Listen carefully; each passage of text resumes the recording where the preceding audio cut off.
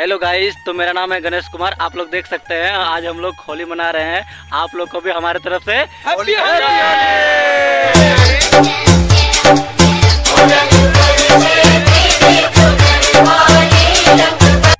तो आप लोग देख सकते हैं अभी खाने के लिए जो लाया गया है ये जो है अभी लाया है देखिए। पापड़ है। खाने के लिए बेसन पापड़।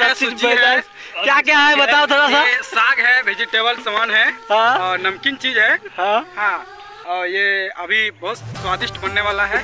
बनकर तैयार हुआ और नहीं इस, इस, इस चीज़ को बनाने में जो सबसे अहम हाथ रहेगा वो रहेगा अरुण भैया की वाइफ का।